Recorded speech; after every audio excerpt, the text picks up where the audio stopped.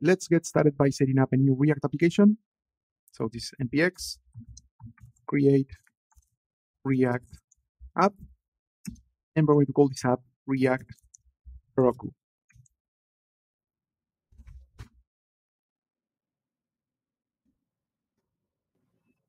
This is going to install React, React DOM, and it's going to initialize the project. Okay. Now let's get into the folder React Heroku. And now let's build our React application. So this is npm run build. This is going to generate uh, the React application into the build folder. Our production build has been successfully generated. So now let's work with the Heroku CLI to deploy our application. Okay, now we need to install the Heroku CLI. So this is npm install. We're going to install this globally. This is minus g, and this is Heroku.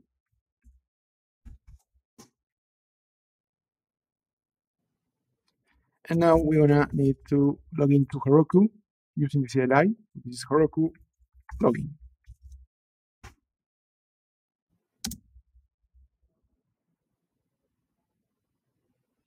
And here we need to enter our credentials. Of course, you need to create an account first. So I'm going to log in here and I'm logged in. So you can close this page and return to your CLI. I'm going to close this and I'm going to go back.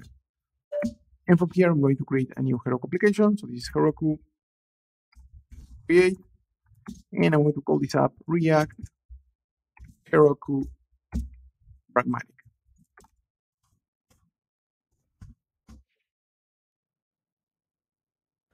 And this is going to generate the URL to access our application.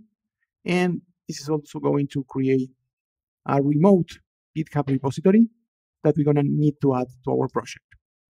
So this is git remote add Heroku, and we need to paste this URL here. Now let's take a look at the Git repository URL for Heroku. Git remote minus v. And this is the URL of our Heroku application. And if we go to the Heroku dashboard, and if we enter to our application, and if we go to settings, we're going to see that this is the Heroku Git URL, git.heroku.com slash react Heroku pragmatic. It's the same value that we have here. Okay, and now we need to commit all our changes. So first, let's add all the changes, git add everything, git commit minus m is initial initial commit. Now let's push all the changes. Git push Heroku master. And this is going to deploy the application to Heroku. It's going to detect that we are deploying a React application. It's going to detect npm. And the application has been deployed to Heroku to this URL.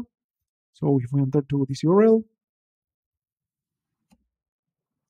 and as you can see here, our React application is running on Heroku on this URL, react heroku pragmatic.herokuapp.com.